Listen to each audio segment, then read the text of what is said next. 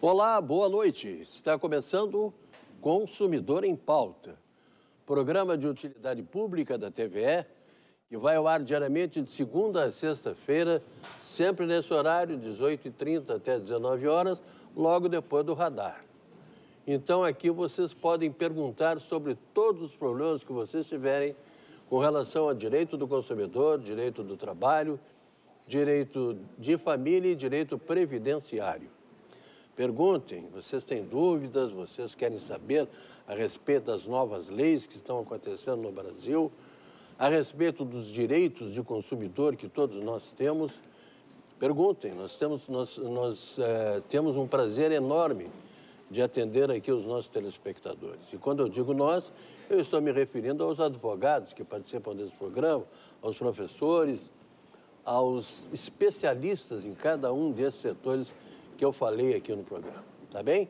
Vocês podem mandar perguntas através do nosso e-mail, que é consumidorempauta.tve.com.br. Pode usar o nosso telefone, que é o 32 30 15 30. O nosso WhatsApp, que é 98451 984516352. Ou então, se alguém preferir, pode usar também o Facebook. E pode entrar lá digitando a página Consumidor em pauta. Não há como vocês não perguntarem. Todos esses endereços estão aí à disposição de todos vocês. E se você tiver qualquer dúvida a respeito de direito do consumidor, hoje é o dia da gente esclarecer toda e qualquer dúvida, porque nós temos aqui sempre um especialista. Hoje, segunda-feira, é o dia sempre de vir aqui o doutor Santini.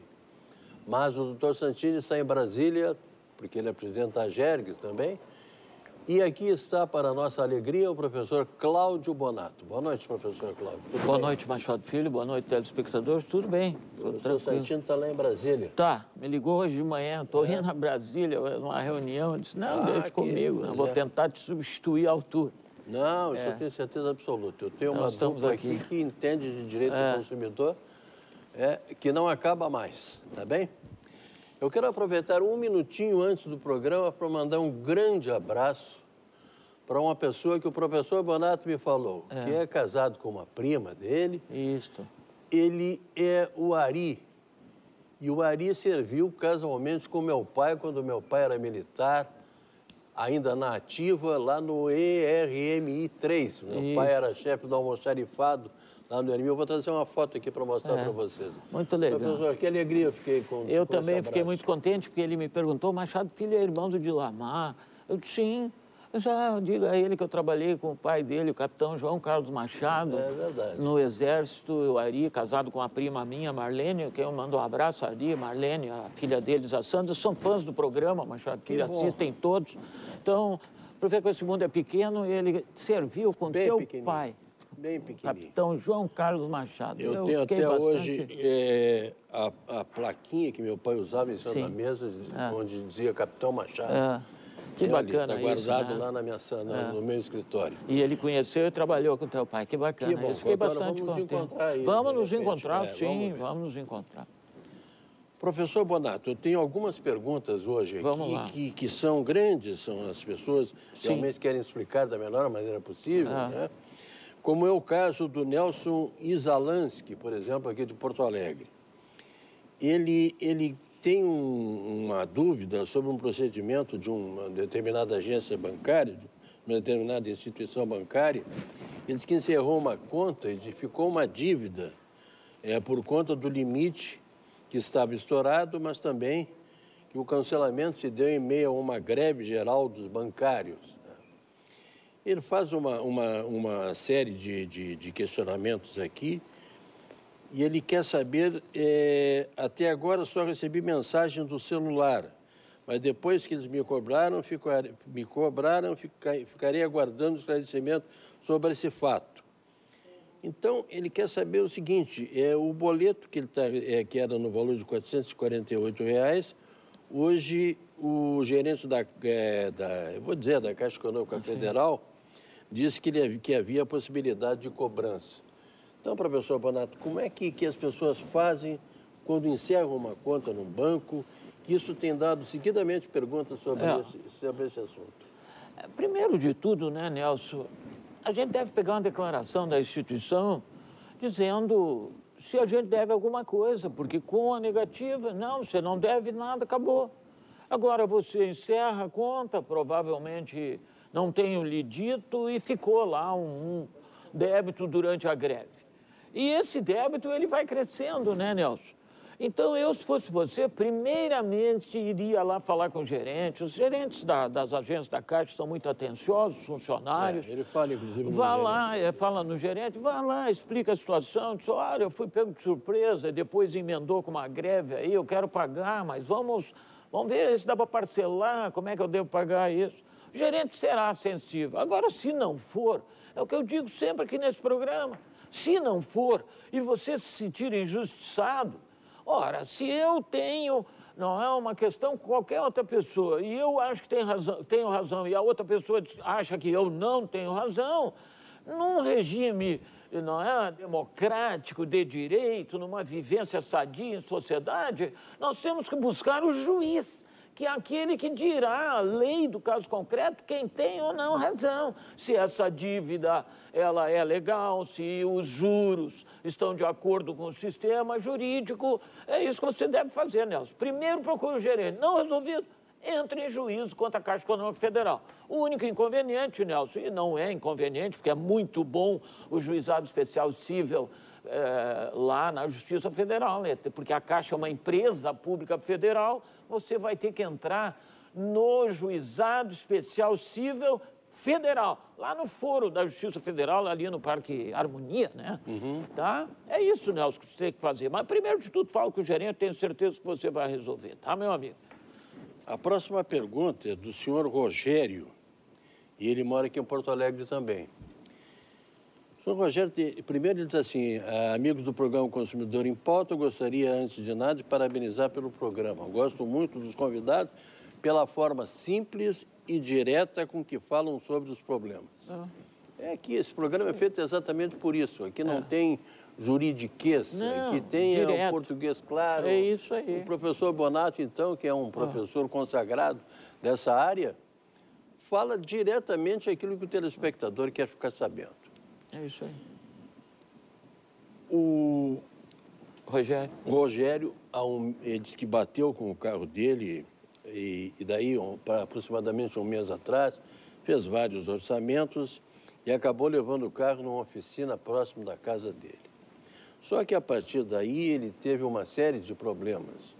O capô não foi trocado, o proprietário tentou reparar o que já estava, porém ficou péssimo farol foi substituído por outro de péssima qualidade, uma série de problemas. Então, ele quer saber que orientação ele deve ter e como proceder em relação a tudo, pois ainda me sinto enganado com a sensação que, mesmo assim, estou no prejuízo moral e material. Ah, isso é uma relação de consumo. Eu procuro um mecânico, um profissional, uma oficina mecânica, eu paguei, ele tem conhecimento profissional que eu não tenho, acho que o serviço vai ser né, perfeito, capô, tudo direitinho, trocado, adquiro gato por lebre. Eu pago uma coisa e recebo outra. Bom, quem é que descumpriu o contratado aí, né, Rogério? O mecânico, a oficina mecânica. Você provavelmente tenha pago o capô, agora está dando problema, o capô não fecha. Quem é o que tem que resolver esse problema? A oficina mecânica. Se não tem competência, diga, olha, eu não vou conseguir resolver esse problema aqui, o senhor vá no outro, vá na concessionária, porque lá eles têm o gabarito, né, porque amassou o carro para colocar no lugar para o capô fechar. Agora ele diz, não, eu resolvo isso aqui. Então quem levou o carro lá está confiando. Isso tudo tem um preço, né, Rogério? Vá lá falar com ele e diga, olha aqui, ó, ou você resolve o problema em três dias, ou não, eu vou entrar em juízo contra você, você vai me devolver todo o dinheiro, inclusive danos morais que você fala aí por esse percalço. E o Rogério usa o carro para trabalhar. Para trabalhar, é. é. E aí, tá, Rogério, vai lá e fale com o gerente, o dono lá da oficina mecânica, e diga, olha, meu, ou tu resolve esse problema aí, não, ou eu vou entrar em juízo, lá no juizado especial civil, que é abaixo de 20 salários mínimos, provavelmente, né, Rogério? Não precisa nem advogado. Explique para ele. Não resolvido. Entra uma ação judicial que o juiz vai dizer quem é que tem razão.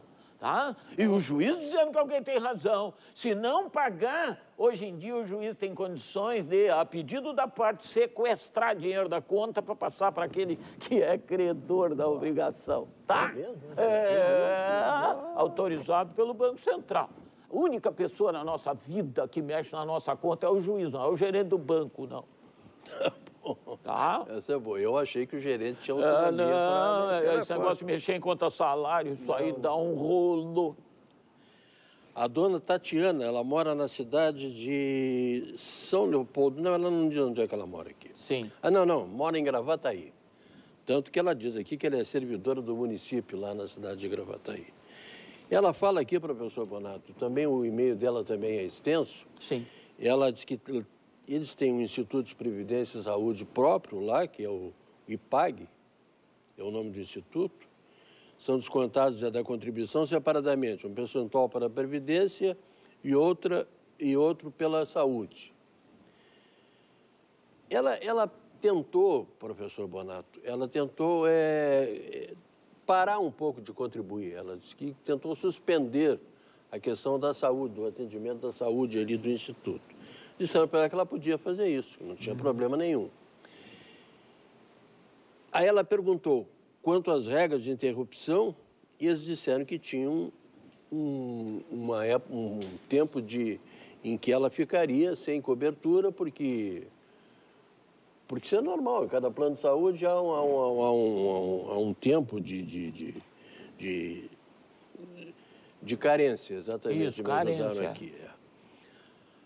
Agora ela ficou impressionada, professor, foi com o seguinte: quando ela perguntou quanto ao possível retorno, me informaram que ele poderia retornar a qualquer momento, mas que precisaria por contribuir por dois anos sem direito a uso nenhum. Só depois de dois anos ininterruptos de pagamento poderia começar a utilizar os serviços do IPAG. É assim que funciona, professor? É, me parece que o máximo de carência é um ano, 360 dias, para ser mais exato. Eu teria que ver, Tatiana, é, telespectador, o IP separou o IP Previdência do IP Saúde. IP Saúde é um plano de saúde como qualquer um outro. Ninguém é obrigado a entrar no plano de saúde, tanto que diversos saíram. Agora, Previdência é previdência, não é? É, ela é quer sair do saúde. Lá, ela quer sair do saúde. Lá, esse PAG, ele é previdência e saúde. Ela quer sair do saúde. Tudo bem, ela pode sair, me parece que saiu. Previdência continua. Agora, para voltar, Machado, ela volta a qualquer tempo, mas tem que submeter às regras do plano. Ela vai ter que fazer exames médicos para ver se ela não contraiu claro. doença nesse tempo que ficou fora, tá entendendo? Vai se submeter às carências, porque não é assim. Eu saio e daqui a pouco, agora eu quero voltar. Não é justo com quem está lá contribuindo, porque é tudo um bolo só. Isso aí deve ser um plano que se chama de autogestão e orgânico. É só dos funcionários. O próprio nome está é. Funcionários da prefeitura de Gravataí. Exatamente. Entende? Então, todas as vezes que alguém sai, uh, isso sai do bolo lá. Para entrar de novo, eles não exigem que ela pague aquele tempo que ela ficou fora, mas ela submete a todas as outras regras. Uh, e uma coisa que é bem interessante aí, assim como o IP Saúde, não é fiscalizado pela Agência Nacional de Saúde Suplementar. Ah, não é? Não, porque a Agência Nacional de Saúde Suplementar, ela tem a incumbência de fiscalizar os planos privados de saúde. Hum. O IP Saúde é privado?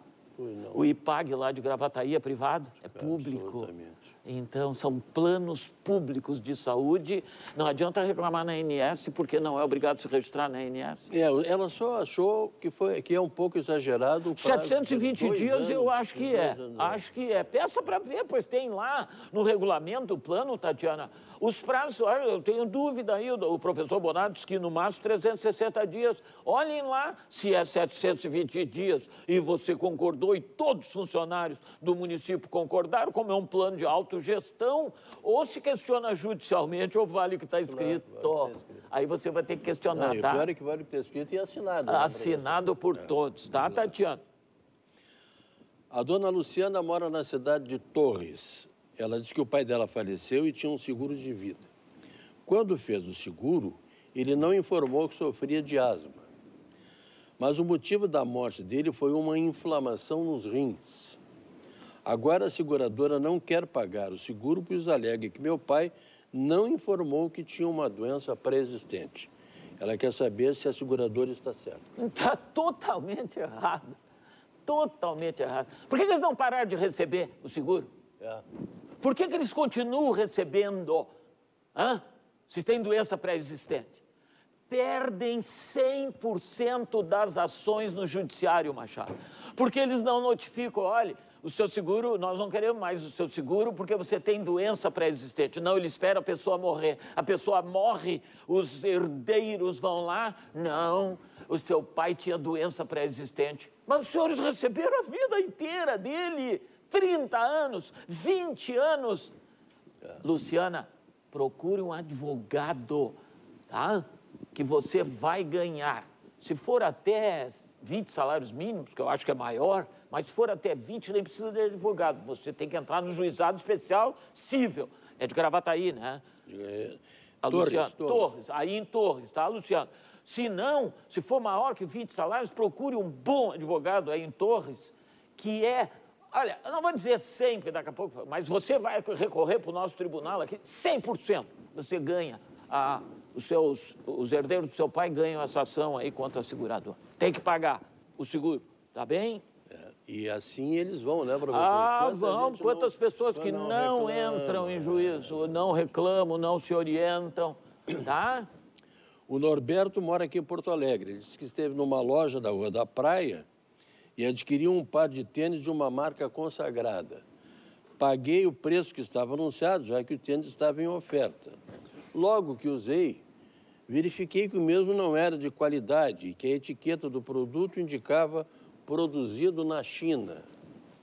Reclamei na loja e o vendedor disse que não poderia trocar, pois o tênis tinha sido usado. Ah! Ele quer saber o que, que ele faz. ah, quem é que compra tênis e deixa em casa lá, três meses depois, ah, não quero mais. Tô, claro que compra o tênis para usar. Você já falou com o gerente, Norberto? Porque esse funcionário vai fazer essa loja quebrar, hein? Você odeia consumidor? O que, que o senhor veio fazer aqui, em vez de comprar o tênis em outro lugar? Mas o que é isso? Norberto, Norberto, vou te dar uma orientação. Qual é a fábrica do tênis? Ah, é esta. Liga para a fábrica, eles vão te mandar três pares. Porque a fábrica que quer manter o consumidor cativo, o comerciante, ele vende lá 300 marcas. Então, se você não gostar de uma marca, ele ainda tem 299. Claro. Ele está pouco se lixando. Mas eu, no seu lugar, ainda ia falar com o gerente dessa loja. Pode ser, né? via de regra, esses gerentes não, não, nós vamos trocar. Agora, se você ligar para a fábrica, mandar um e-mail, Norberto, olha, se é das fábricas que eu conheço aqui do Vale dos Sapateiros, vão lhe mandar três tênis e ainda lhe pedir desculpa, tá, Norberto? Faça isso, meu amigo.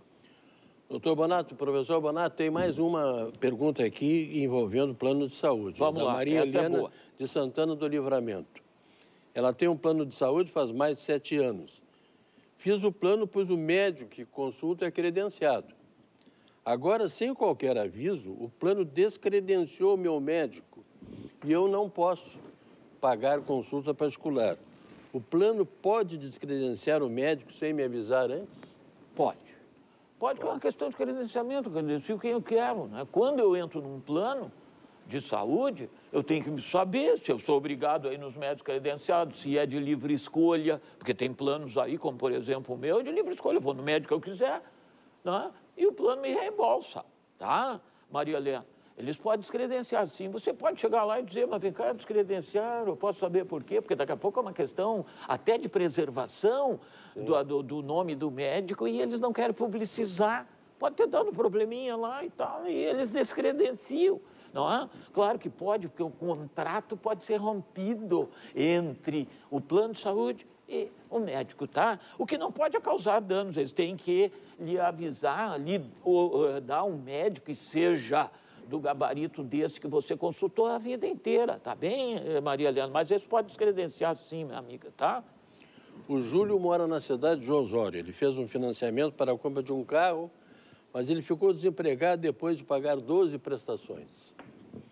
Ele gostaria de pedir uma revisão para tentar pagar uma prestação mais baixa. Uhum. Ele quer saber, mas o banco está se negando a aceitar. Ah. Ele quer saber o que, que ele faz. Entre em juízo. O próprio nome está dizendo, ação revisional. Você quer uma revisão administrativa, ou seja, junto ao banco, extrajudicial. O banco não quer. Então, meu amigo, Júlio, você já pagou 12. Daqui a pouco eles vão querer ficar com as 12 e com o carro. Então, cuidado. Entre com ação revisional no judiciário. O juiz vai dizer para o banco: o seu Júlio está desempregado, teve problema, baixou o salário, não tem condições mais de pagar essa mensalidade, essa prestação. Vamos baixar? Não, então eu vou arbitrar como juiz, eu vou decidir. É. O Júlio só pode pagar tanto por mês e o banco vai ter que aceitar. Chama-se ação revisional no judiciário. Fale para o gerente lá do seu banco. Como é que é? Vamos entrar num acordo ou não vamos? Não, não vamos. Ah, tá? Então eu estou avisando, continuamos amigos, eu continuo no banco, mas vou entrar com uma ação judicial. É assim que a gente age. Num regime democrático, num Estado de direito, assim que a gente age. A razão está do seu lado, Júlio. E ele quer pagar, hein, Machado? Ele quer pagar. Mas, ah? professor, deixa eu só é, lhe lembrar de uma coisa aqui que me ocorre agora. Sim. Os bancos, quando, quando alguém faz uma revisional contra um banco, eles fazem. Ah, faz. É o chamado é. Credit Store, é. que o Ministério Público está procurando de todas as formas essa lista negra, que, como o próprio nome está dizendo, ninguém sabe onde é que ela anda. Quem entra com uma ação contra um banco não tem mais crédito em banco algum. Banco algum. Isso é que, enquanto a sociedade não se organizar, nós estamos sujeitos a isto. Por isso que eu lhe orientei, Júlio, vá primeiro falar com o gerente. Mas, em último caso, você vai perder tudo que pagou, só o judiciário que pode lhe salvar. Agora, você vai ficar nessa lista negra que eu não sei como é que. Quer dizer, eu sei, mas a gente não está conseguindo encontrá-la, porque diversas pessoas já vieram me dizer que entraram com ação contra o banco e nunca mais conseguiram financiamentos. Não, não consegue mais. Não consegue. Não consegue. Mesmo não devendo nada, nada. para ninguém.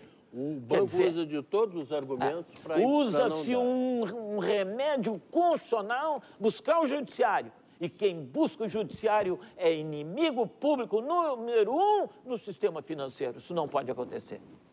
Professor Cláudio Bonatti, tive um prazer muito grande de contar mais uma vez prazer com a sua participação meu. aqui no programa. Muito obrigado, Machado. Volte sempre, porque o senhor Volto. sabe que essas portas aqui estão abertas. Esta eu considero a minha segunda casa, Machado. Que bom. Ah.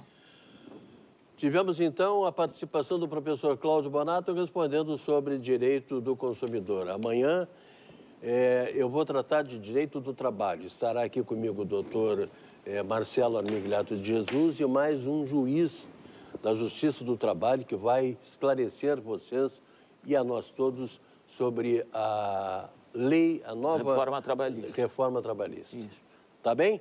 Então, vocês são nossos convidados amanhã a partir das seis e meia. A todos vocês, muito obrigado, muito boa noite e até lá.